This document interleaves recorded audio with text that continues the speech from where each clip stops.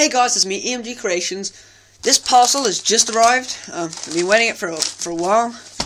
Yeah, I ripped it off because I don't want you guys to see where I live. So yeah, now let's open it up. see what's inside.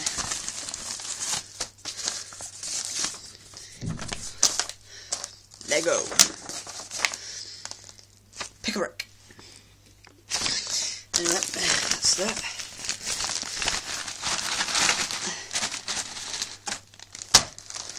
Oh look, what do you know? It just happens to be a large bundle of grass pieces. Uh, quickly pause it and I'll go get my knife. We can open this thing up. Okay, alright, so I've opened it up. It's over there. There you go, making confined space. Okay, so stalk 300. So this should be 300 stalk pieces. Should, should have all them. So that there will go very nicely on my base. Epicness! Yeah, this is what my plan is to have for the base. Uh, some dead clones and droids.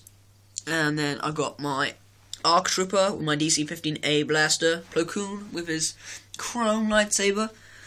Custom turrets with two additional missiles, which is pretty epic, and I'm adding some detail to it. So, since I now have a couple of hours spare for, for this morning, I will plant those down, and then hopefully this video will be up within today or tomorrow.